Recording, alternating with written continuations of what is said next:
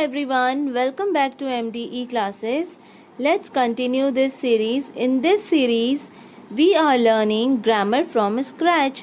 इस सीरीज़ में हम ग्रामर बिल्कुल स्टार्टिंग से सीख रहे थे तो चलिए हम स्टार्ट करते हैं this is unit six that is animals and their babies इस चैप्टर में हम लोग पढ़ने वाले हैं एनिमल्स और उनके बेबी के नाम। यानी कि हर एनिमल्स के उनके जो बेबी होते हैं, उन बेबी का नाम भी डिफरेंट होता है। The babies of animals have different names learn them also इन्होंने बोला है कि यहाँ पे एनिमल्स के एनिमल्स के बेबी का नाम है, दिया गया है और वो डिफरेंट है, वो आपको लर्न करना है। तो first animal is hen and hen के बेबी का क्या नाम है? Chick second animal is cow and cow का बेबी का क्या नाम है? काफ ठीक है? Third animal is cat cat means बिल्ली, जो म्याऊ म्याऊ करती है। एंड कैट के बेबी का क्या नाम है? यानी कैट के बच्चे का क्या नाम है? Kitten fourth is dog dog के बेबी का क्या नाम है? Puppy okay now come to next then next is deer deer के बेबी का क्या नाम है? फॉन एंड एलिफेंट एलिफेंट के बेबी का क्या नाम है? देखो, छोटू सा दिख रहा है ना?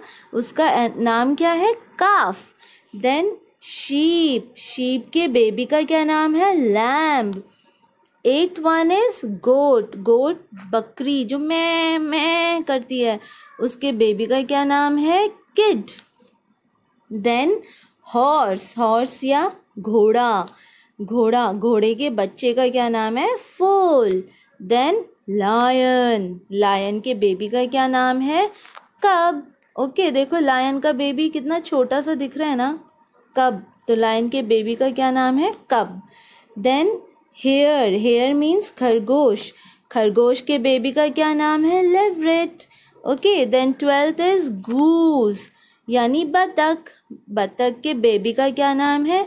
गोजलिंग ओके okay, तो इस चैप्टर में आपको एनिमल्स और उनके बेबी के नाम दिए गए हैं and that you have to learn okay now come to next page now look at the pictures on the previous page in each box you will see an animal and its baby यहाँ क्या बोला गया है कि previous page यानी पिछले page में जो दिए गए थे, जैसे कि बॉक्सेस में क्या दिया गया था? उस एनिमल्स और उसके बेबी के नेम दिए गए थे। For example a hen and a chick a cow and a calf a cat and a kitten a dog and a puppy a deer and a fawn an elephant and a calf a sheep and a lamb a goat and a kid a horse and a foal a lion and a cub, a hare and a leveret, a goose and a gooseling. It means hen के baby का क्या नाम है चिक cow के baby का क्या नाम है काफ इन द सेम वे इन सारी जो एनिमल्स है और उसके साथ उनके बेबी का नाम लिखा गया है okay now come to B Now put in the missing words. The first sentence goes with the first picture and so on. Begin like this. The chick is the baby of the hen. इसका मतलब जो first picture में था वो hen उसके baby का क्या नाम था चिक था and the calf is the baby of the cow यानी कि जो काउ है उसके बेबी का क्या नाम होगा काफ सेकेंड पिक्चर में एंड थर्ड पिक्चर में क्या था?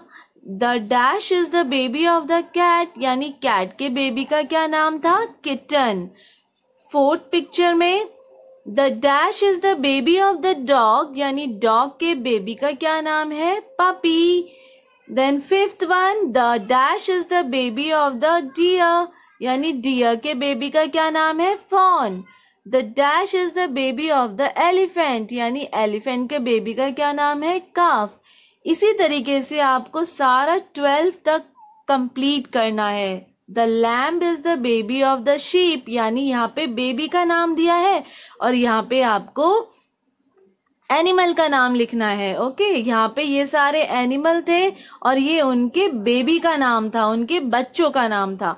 द किड अब किड किसके बेबी का नाम है?